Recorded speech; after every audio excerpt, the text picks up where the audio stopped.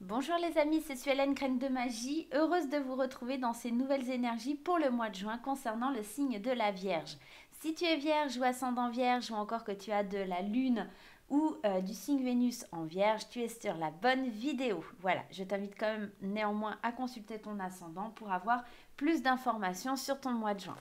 On va aller regarder un petit peu d'un point de vue général, on va aller voir euh, aussi le sentimental pour voir un petit peu ce qui se passe pour toi. On va commencer avec Lulumineuse et Margot Motin, mais dans un premier temps, laissez-moi vous souhaiter la bienvenue sur ma chaîne. Et puis pour les petits abonnés, euh, enfin pour les, personnes qui ne sont pas encore abonnées, n'hésitez pas à cliquer sur le carré en bas à droite et n'hésitez pas à activer la petite cloche. En attendant, je vous présente Mademoiselle Nairobi pour ceux qui ne la connaissent pas. Elle s'installe de temps en temps sur les vidéos, pas toujours, mais voilà, aujourd'hui elle avait envie. Elle restera peut-être pas tout le long de la vidéo, mais pour le moment, elle est ici. Allez, c'est parti. On y va.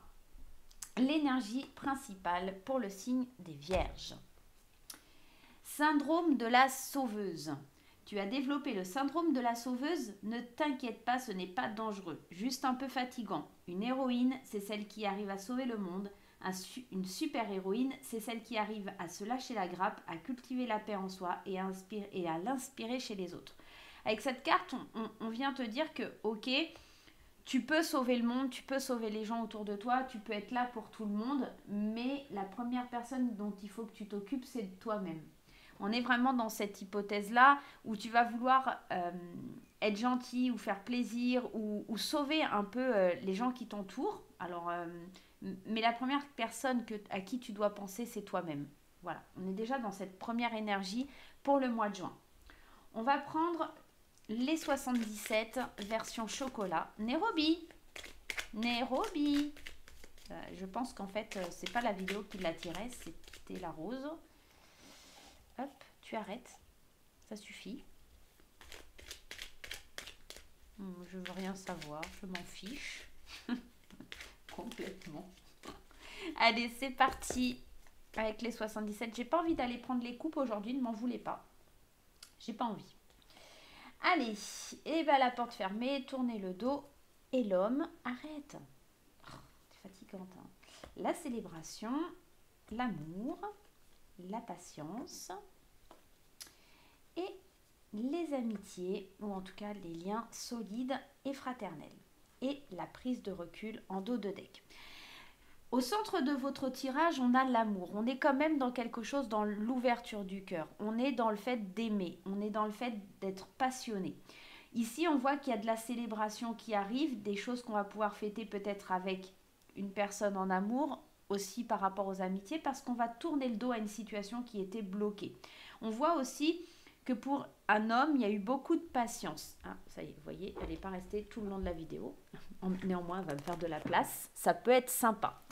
Euh, on, voit vraiment dans ce tirage qu'il y a beaucoup, beaucoup, beaucoup d'amour, qu'il y a vraiment de la célébration qui va se faire par rapport à quelque chose qui était bloqué. Vous allez pouvoir enfin euh, rentrer dans une paix intérieure qui va vous faire du bien pour s'élever, pour prendre un nouveau départ, d'accord? Peut-être des vacances aussi, et puis peut-être aussi cette notion de ce, recul qui est, qui est nécessaire. Euh, moi, j'ai la sensation surtout que hum, on va se sentir un peu plus apaisé, on va se sentir un peu plus en paix là sur ce mois de, de juin pour les vierges. Il y a vraiment des choses qui étaient bloquantes. Je vais aller mettre des cartes un petit peu pour, euh, pour voir un petit peu plus loin. Mais moi j'ai l'impression que quelque chose qui était bloqué se débloque et ça fait du bien au niveau du cœur. Ça peut concerner les choses qui étaient bloquées, quelque chose par rapport à votre bien-être, à votre santé, quelque chose qui, où vous manquiez d'ancrage. Et on tourne le dos face à des gens qui, euh, ont été méchants, euh, à. Ouais, alors complètement. Hein. On tourne le dos par rapport à des choses qui ont été difficiles, méchantes, à des mauvaises pensées, euh, ça peut être par rapport aussi au fait que vous avez été assez intelligent, rusé et malin pour voir les choses euh, du bon côté et pour pouvoir enfin tourner le dos à cette situation. Attention aussi, euh, le fait de tourner le dos et de sortir d'une situation qui été bloquante à pas attirer cette jalousie, d'accord? Parce que quand elle sort quand même, on n'oublie pas que c'est de la méchanceté, que c'est de la jalousie. Hein. Et puis euh, des belles surprises, hein. on va être étonné, des belles surprises qui ont mis du temps à arriver, hein. euh, une, vitesse de croisière qui a été difficile à prendre, mais ça y est, ça arrive, c'est là. Euh, on va pouvoir se laisser surprendre par la vie, d'accord? La patience que vous avez mis, il y a un accord qui est signé, il y a un accord qui est conclu par rapport à cette patience, qui va peut-être encore demander un, deux, trois mois ou un, deux, trois semaines, une, deux, trois semaines, un, deux, trois jours. Moi, j'ai la sensation que ça va durer trois semaines, que vous aurez peut-être une signature ou un accord qui sera euh, définitif fin juin. D'accord? On peut, parler de ça. Sur euh, ici, euh, sur la célébration, sur les rendez-vous, on voit qu'enfin on célèbre et on va pouvoir se reposer. Ça va vraiment être plus serein pour nous. ou pour vous, hein, parce que moi je suis pas du tout ascendant vierge ou j'ai pas de la vierge, mais enfin je voilà, je, parle comme si je, faisais partie un petit peu du tirage. Euh, il y, a, cette notion de reposer, de repos, de, pouvoir célébrer, parce qu'en fait, on va couper quelque chose qui dure depuis trop longtemps. On va couper quelque chose qui nous fatiguait. Et, ça, ça va vraiment être bénéfique. On va acquérir plus de sagesse. On est protégé quelque part par une certaine sagesse astrale et ça va nous faire du bien, ça va pouvoir nous aider à avancer et aller de l'avant. Sur la carte de l'amour, il y a les prières qui sont exaucées, il y a vraiment quelque chose qui est éclairé, quelque chose qui arrive rapidement sur le mois de juin. Je pense que début juin, il y a quelque chose qui se débloque et sur la fin juin, il y a des accords qui sont conclus. Et ça nous permet de retrouver un équilibre, ça nous permet de, de, se recentrer, c'est peut-être aussi une décision de justice aussi, tout simplement. Et puis l'abondance, l'abondance qui arrive, l'abondance qui est là pour rééquilibrer les choses, l'abondance en amitié, l'abondance sentimentale, ça peut être une abondance financière, bien sûr, vous adaptez à votre situation. On reste dans un tirage général, hein, donc je vous le répète, hein, c'est vous adapter à votre situation. Je ne peux pas faire mieux et je ne peux pas rentrer dans les détails, malheureusement, puisque vous êtes nombreux à regarder la vidéo et vous êtes nombreux sur la chaîne, donc je ne pourrai pas rentrer dans le détail. Néanmoins, on voit qu'il y a une situation qui se débloque. Attention aux jalousies que ça va engendrer, en tout cas euh, aux personnes méchantes, aux, personnes rusées, aux personnes malignes qui essaieraient un petit peu euh, de venir grappiller ce que vous, vous allez atteindre, d'accord Cette signature, cet accord. Et puis, euh, attention à tourner le dos aux, personnes qui essayent euh, euh, de, vous la mettre à l'envers. J'utilise souvent ce terme-là, mais c'est un petit peu ça. Coupez, défendez-vous par rapport à des choses, célébrez, reposez-vous, vous allez pouvoir enfin être en paix avec vous-même. Il y a vraiment un beau tirage.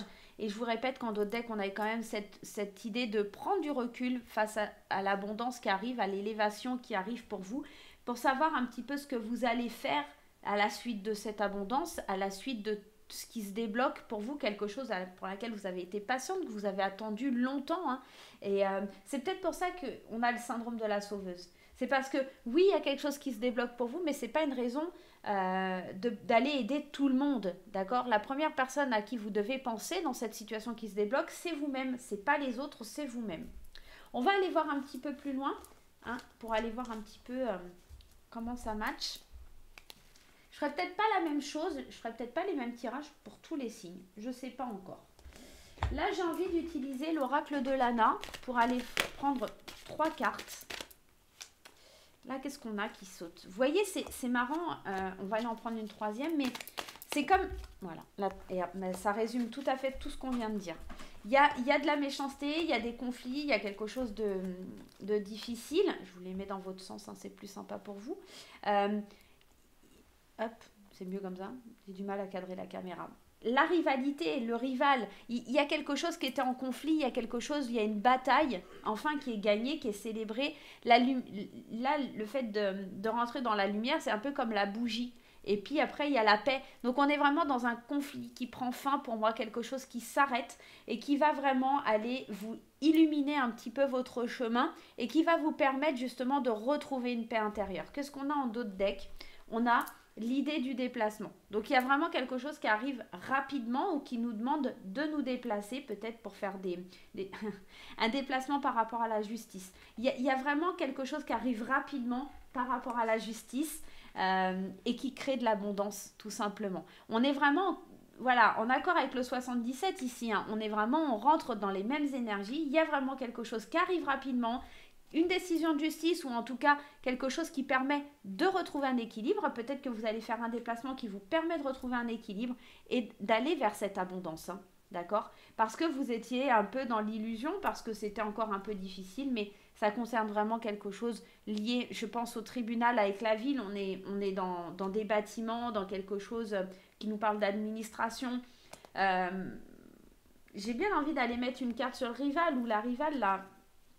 Ouais, moi, pour moi, ça s'éclaircit cet été, donc euh, au mois de juin. Quand je vous parlais de fin juin, d'un accord qui est trouvé fin juin, je pense qu'il y a quelque chose début juin qui se débloque, mais fin juin, ça, prend tout son sens, vraiment, à partir de l'été 21 juin, quoi. D'accord? On est vraiment dans ça. Hein. Allez, c'est parti. On va aller faire un petit tour d'horizon sur le sentimental. Allez. On va le faire en trois cartes. Allez, le sentimental, libérez-vous. Il y a vraiment cette notion, il est temps de reprendre le contrôle de votre vie, il est temps de savoir où vous voulez aller, il est temps de, de vraiment de vous affirmer. On me parle d'un nouvel amour et on me parle de sentiments romantiques. Je pense qu'il faut vous libérer un peu de vos craintes, de vos peurs, euh, parce que euh, cet amour, alors qu'il soit nouveau ou assez récent, d'accord, il y, a quelque chose qui vient éveiller vos sentiments romantiques et derrière on a les sentiments romantiques. Donc euh, je, pense que vous allez peut-être euh, à l'issue de ce blocage, à l'issue de cette chose qui était bloquée et qui va se débloquer, vous allez pouvoir enfin vous libérer et donner et consacrer plus de temps à l'amour et vous sentir différent au niveau sentimental. Je vais voir le dos de deck. Euh, différent parce que dans le sens où vous allez enfin pouvoir vous engager pleinement et euh, concrètement dans, dans ce que vous voulez entreprendre au niveau sentimental. Alors ça c'est si vous êtes en couple, hein. mais si vous êtes célibataire, ça peut vous demander de vous libérer d'un ancien amour pour vraiment vivre pleinement la nouvelle relation qui vient à vous. Ça peut être aussi pour certaines personnes parce que vous n'allez pas tous rencontrer quelqu'un avec qui il va y avoir de forts sentiments et vous engager dans une relation. Ça peut être tout simplement de vous dire que vous libérez le passé et qu'en fait, il y a un amour pour vous-même qui commence à naître, d'accord Et vous vous engagez à respecter votre amour intérieur, votre paix avec vous-même. Euh, on, est, vraiment dans le fait de penser à soi aussi. Hein. donc on est vraiment dans ce syndrome, je pense à moi, je pense aux gens que j'aime, et après je verrai le reste. D'accord On est vraiment dans ça. Ouais, bah, c'est plutôt quelque chose de bien sympa, hein. plutôt quelque chose de magnifique là pour euh, le mois de juin pour vous. Allez, dernier petit conseil, on va prendre mon oracle, l'oracle des fées enchantées. Je vous rappelle qu'il est toujours à la vente si vous voulez l'acquérir, il n'y a aucun souci. Voilà. La carte signe d'ailleurs fait partie de mon jeu. Donc n'hésitez pas à me contacter sur hélène.orange.fr ou sur ma boutique Etsy. Si vous avez euh, des doutes ou des, des demandes particulières, n'hésitez pas à m'envoyer un message via la boutique ou mon site internet. Vous avez toutes les informations en barre d'infos sous la vidéo. Allez, le conseil à suivre avec l'oracle des fées enchantées pour ce mois de juin. Qu'est-ce qu'on a? Le lâcher prise avec la carte de l'automne et l'éveil. On est vraiment dans l'idée de s'éveiller, de s'ouvrir à quelque chose de nouveau, de lâcher l'ancien, d'aller vers des énergies positives, de renouveler ces énergies. En d'autres decks, le présent. On vous demande vraiment de vivre le moment présent, de pas être dans le passé, de pas être dans l'avenir, mais vraiment d'être au moment présent et de relâcher un peu la pression, là, tout simplement. Hein. Ça m'agace, c'est de travers. De relâcher un peu la pression et de vous éveiller à quelque chose de plus positif, de vous éveiller à quelque chose de beau, de vous ouvrir, d'avoir une espèce d'ouverture du cœur, de s'occuper aussi de vous. Et puis sachez bien et rappelez-vous bien que la carte de l'éveil vous dit qu'une fois que vous avez vécu l'éveil, une fois que il est là, cet éveil, euh, vous ne pourrez plus faire marche arrière, donc inutile de garder vos vieilles feuilles. Débarrassez-vous de ces vieilles feuilles pour vous ouvrir complètement au moment présent et aller de l'avant euh, pour la suite. Voilà mes amis vierges, je ne vais pas faire des gros gros tirages, mais je reviens très très vite pour de nouvelles aventures.